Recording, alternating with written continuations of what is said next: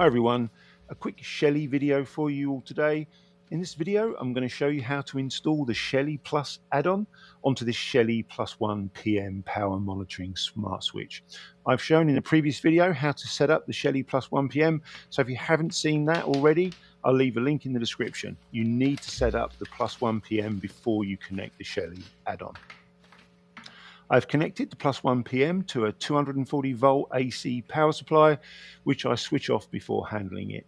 Then notice the add-on has a series of pins on the back of the device.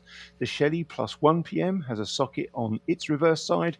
Gently push the add-on pins into the plus 1 PM, making sure the plastic tabs click firmly into place. That's it for the installation.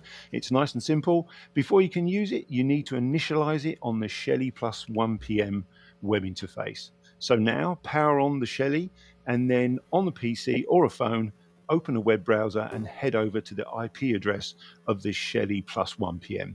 In my case, that's 192.168.1.246. Yours will most likely be different. Make sure, of course, your PC and your phone is connected to the same local area network.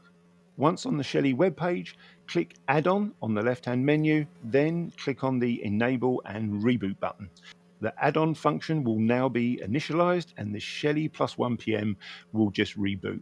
You will now have a new menu item called Peripherals. You can simply press the plus sign to add a peripheral. You would first need to wire that peripheral to the add-on. The add-on supports the DHT22 or DS18B20 sensors for humidity and temperature. I've got a DH22 on order and I'll do another video on installing and calibrating it as soon as it arrives. That's it for the day. I hope you enjoyed the video. Please consider subscribing and maybe hitting that notification bell so we see each other in the next video. Take care, everybody.